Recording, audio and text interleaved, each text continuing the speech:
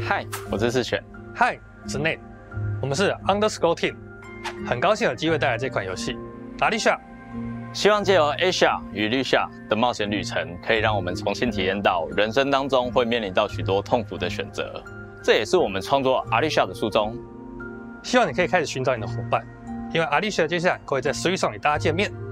利用独特的操作玩法，我们也预期可以为你与伙伴之间带来非常不一样的体验。我们 Switch 上见吧，拜。There's plenty to admire in this puzzle adventure game. For twin sisters Aisha and Lisha, cooperation is key in safely navigating this deserted temple. The game makes creative use of the various input options available on Nintendo Switch. Each sister is controlled differently, and you can control both via solo or local co op play. With Aisha, you'll use motion controls with Joy-Con controllers in TV mode, and with Lisha, you'll use touch controls to guide the helper robot Ambu in handheld mode. However, you choose to play, you'll need the sisters to work together by exchanging clues and operating devices that can help you go deeper inside the temple.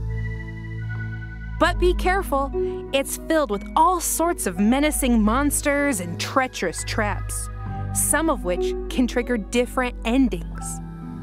The heartfelt, overlapping music when playing with a friend, coupled with the emotional story, will complement your journey to uncover the secrets residing within.